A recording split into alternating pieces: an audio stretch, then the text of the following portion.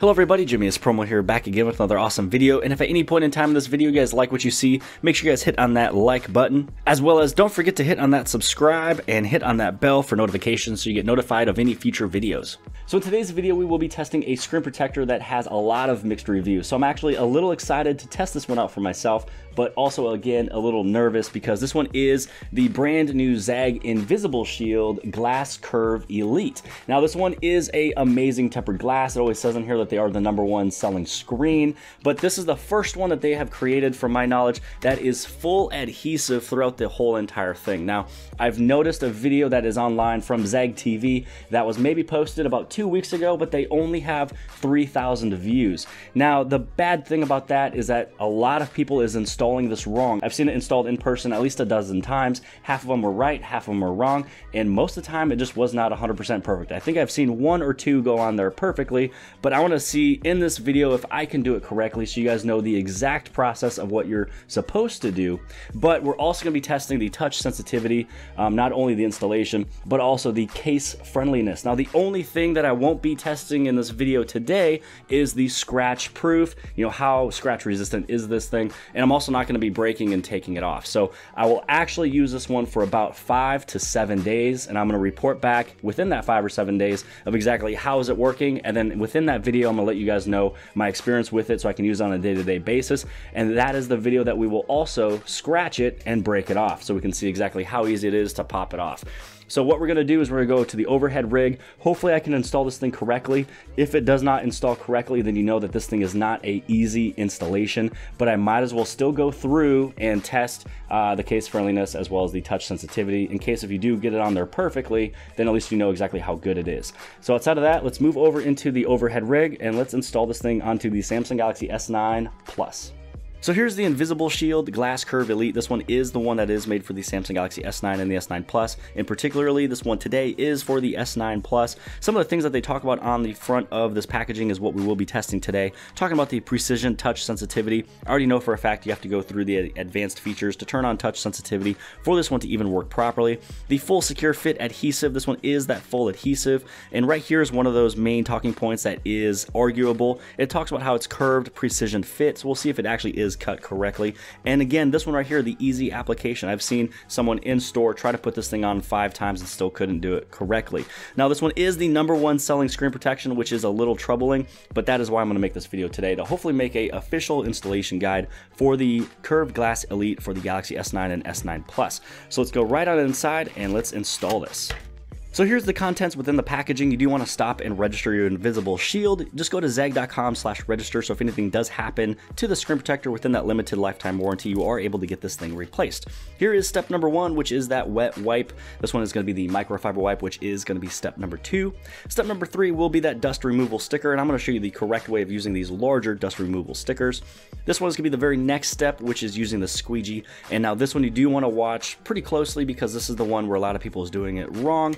And then this one is going to be your guard that you're able to place your little Zagg Invisible Shield on.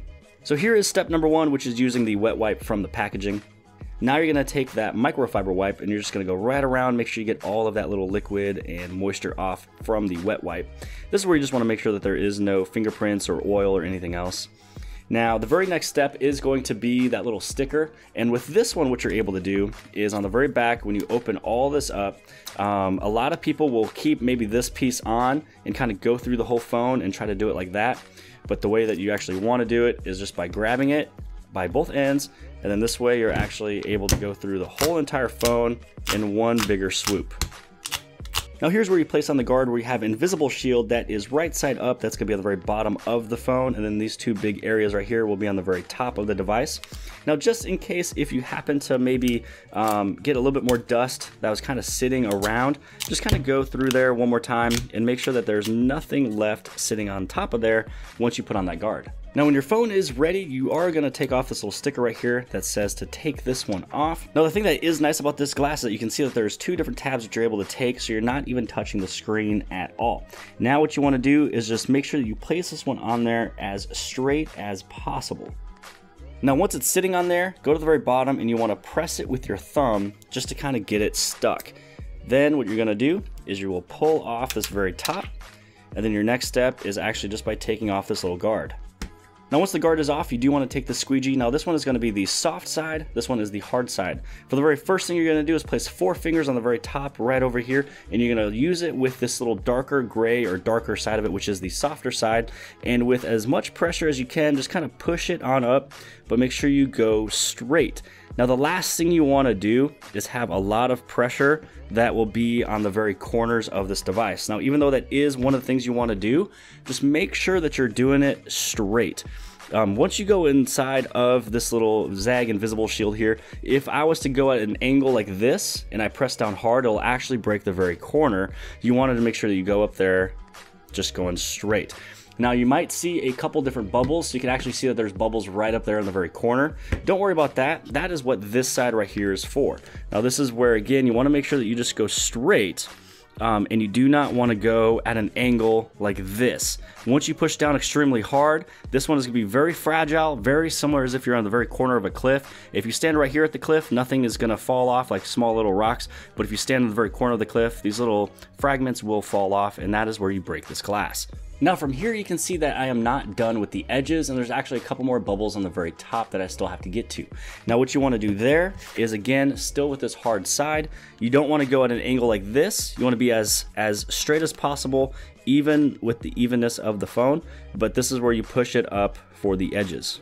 Now another trick that I found with the corners is that when you push down with all four of your, your little fingers you can see that this thing bends. This right here, this bend goes right around the edge if needed. The most important thing is all of this is flat going straight up, but you're able to give a small bend with your fingers going along the edge. So now on the very top, you can still see that I have a couple more bubbles there, um, but the edges have gone on pretty well except for this baby spot here and then those two up here. So what you are able to do is you can go to the corner, give this thing just a little bit of a lift, but don't, don't lift it too hard. And what you're able to do is kind of give this that lift that will go in there to recreate the bubble that now you're able to fix. Now go through there again with this hard side and again make sure everything is just completely straight. Push it with a lot of pressure down but keep this at a good angle, not straight up, and then you are able to get that thing fixed. Now a little trick with this one is that if you have a small bubble that'll be like right around here or in the middle or just somewhere that's not on the very corner, you are able to take the edge of this hard piece and kind of push down really hard on it and you can go back and forth, back and forth, back and forth in an isolated area. This one reminds me of kind of like a gel adhesive that you are able to actually work that out. So as example, you're gonna be something like this angle here going through the whole phone not this angle, not this angle. You're gonna be way down here pushing this thing out. So now actually the final result here, after I literally probably pushed out, try to get all these little bubbles out of there, probably for a good four minutes. Um, also, this corner over here I lifted about three times to try to get all of these little bubbles off of there. So now this is going to be the end result. So here you can see that there actually is no bubble, there's no defect anywhere, um, except for the very, very, very top. There's just two little baby pieces that for some reason I'm just not able to get out of there. Um, but that one is actually not gonna ruin the screen protector at all. This one is actually on there pretty well. So now our next step is that we will be playing with the touch sensitivity and then we're also be playing with the case friendliness. And again, scratching this will be a little bit later on. I wanna use this one for about a week to let you guys know the performance after using it for a week's time. Now for the first test, we will be going over into the Oh, wow, this is actually really bad. Uh, hold on one second. Wow, so I don't know if you guys saw that earlier. I was actually in my phone dialer. I was trying to actually get into um, the diagnostic test, but this touch sensitivity is the worst that I've ever seen in a screen protector. Um, this is probably where some of those mixed reviews are coming from. Uh, one of the things you do want to go into is the advanced features, which I don't know if this thing's even going to let me go and touch through it, um, but you want to go all the way down and turn on that touch sensitivity, which I'm having a horrible time even turning it on. Okay, now we'll see if this actually is even worth it. Okay, here we go. Now we can actually use the phone. Um, you can see there why it's so important to go into your advanced features and turn on that touch sensitivity. Um, I was barely even able just to get into this part of the phone. Um, so you might as well turn that on first. The next step you also want to turn on is by going over into your display because obviously this home button over here is going to be pretty hard to deal with as well. You want to go down to your navigation bar. With this navigation bar, go to this hard press home button and make sure it's as light as possible. So in this way, when you are touching your home button, um, with that little bit of a pressure push right there, it's a way that you are able to interact with your phone. Now let's move over into that touch sensitivity test. How you're able to get inside of that is just go to your phone dialing pad, go in star pound, zero, star pound. Wow, you can see how much of a difference that was from just a minute ago. Now you're gonna head over into touch. Now up here is where you wanna test everything. Um, so this is where you're testing if you pull down your notifications panel. This is where you're testing if you're gonna be touching your home button um, or swipe up for your Samsung Pay. Um, so we'll kind of make sure everything's pretty good. So I'm not pressing too hard, but I do have to say that this one is just way different than that Whitestone dome glass. The Whitestone dome glass that I've reviewed from before, which I'll actually place that link right up over here that you guys are able to click on to watch that video. That one there is perfect, even though the installation is just a little bit different. Um, I would rather use that one all day, every day versus this one um, because you see that you have to change settings for this thing to even work um, with your device. Now the touch right after that and you change everything is going to be 100% perfect. Now one thing I do want to mention is if you go through that touch sensitivity test, the only way to get out of this is if you fill in all these different squares here. If you're not able to finish all of this because the screen protector just wasn't on correctly, you are able to hit that volume up to get you out of that screen. So this way you'd be able to hit back a few times and head back home. So now we're going to go through all these cases extremely fast. I just want to make sure that none of these are to be popping off the screen protector, which I almost doubt because it is fully adhered, but we'll see if it kind of bubbles up. If you're interested in any of these cases, just go below the video inside the description. There will be links linking you to these that will be on Amazon or it could be maybe their websites. Um, so first off, this one is going to be the Samsung flip cover. This is their little clear standing cover. This one doesn't really go along the edges too hard. This one should very, you know, easily work with the screen protector here. So this one is good to go if you get yourself the Samsung Clearview standing cover. So case number two is going to be Tech 21. This one is Evo Max. It's a brand new case from Tech 21. Right now it's actually on pre-order. If you want to check it out, just go to tech21.com. This one is rated 14 foot. Um, I use this one for a few days. Definitely one of my favorites, um, but I will not have a Amazon link for it just yet. I'll hopefully update that for you later. Um, but this one just is a beautiful case. I actually love it. They sent me over a couple different colors, but you're kind of getting a first look of it right now. So this one is definitely fitting. The lips on the sides and the very top is pretty, you know, hugging of the phone, so it will not pop off the screen protector. I don't think any of these will actually pop it off. If there is one that will, it's it is going to be Speck, which you know what, we might as well test that one right now. Now next up is going to be Speck. This is the most hard-fitting, tight-fitting case that will go onto your phone. If you have a Speck Presidio, this one is going to be one of those that will pop off almost every single screen protector that is known to man. Um, but we're going to see if this one does not pop off.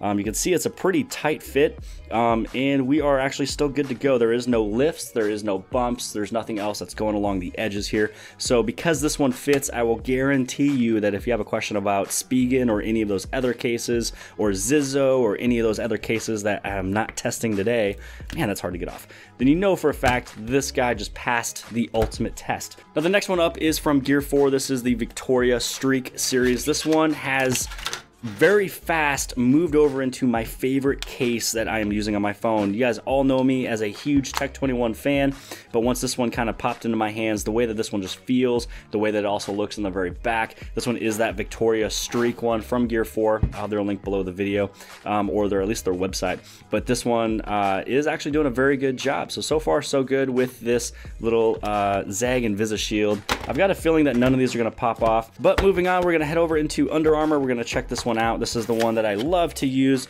with my magnet grip. Um, I already know for a fact this one's not going to push it off. Um, it's a little bit loose fitting in terms of how hard it is, but it's definitely a very good protection of a case. Um, this one is good to go. Now we're going to move over into Incipio. Now here with Incipio, this is one of those newer ones that I've tested. This is one of my favorite from the Incipio line. Um, this one is good for a 12 foot drop.